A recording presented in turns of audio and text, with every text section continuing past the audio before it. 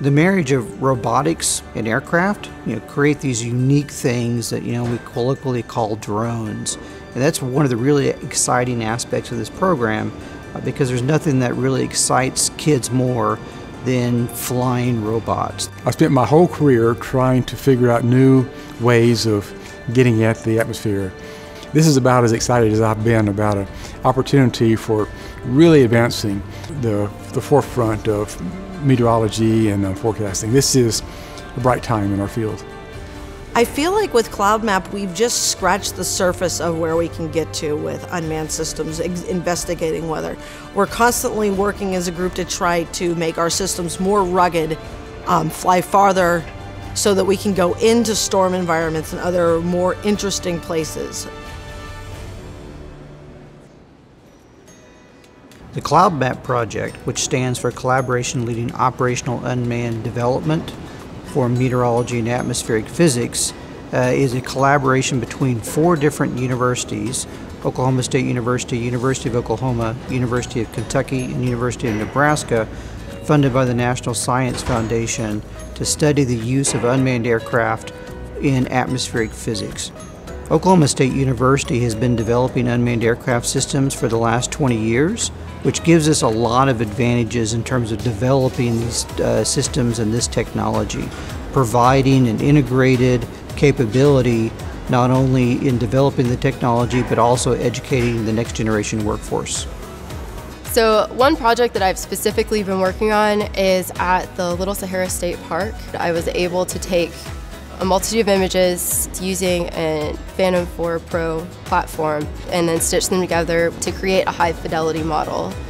I'm taking that model and comparing that to atmospheric data that I had taken using an M600 that had an anemometer measuring wind speed and direction on that. And by including the topography with the atmospheric data, I'm able to show or prove that what we think the atmosphere and land interaction is is actually accurate. We have engineers working with data scientists, working with computer scientists, working with atmospheric scientists. One aspect of the CloudMap project that is pretty unique is the combination of all these different fields, which uh, opens up new opportunities for early career faculty to be able to develop new marketable skills, not only for themselves, but also for students.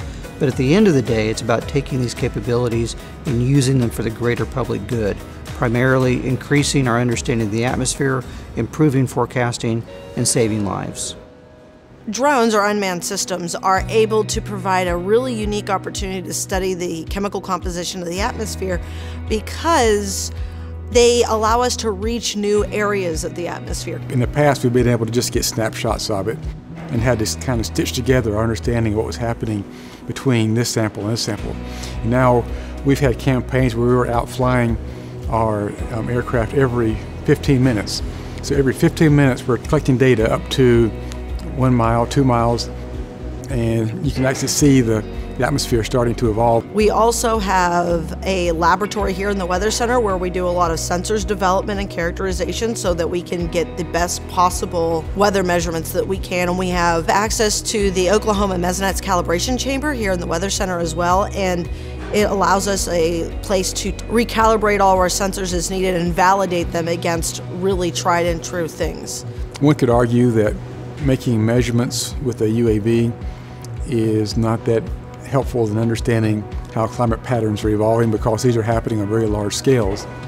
But they can be very useful as looking at markers of how the climate is changing.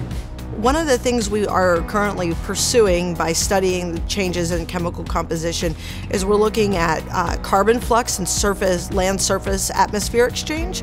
So for example, during the growing season, plants consume carbon dioxide. So you will see a decrease in the concentration above the surface and then it will start to increase again as it moves towards the free troposphere.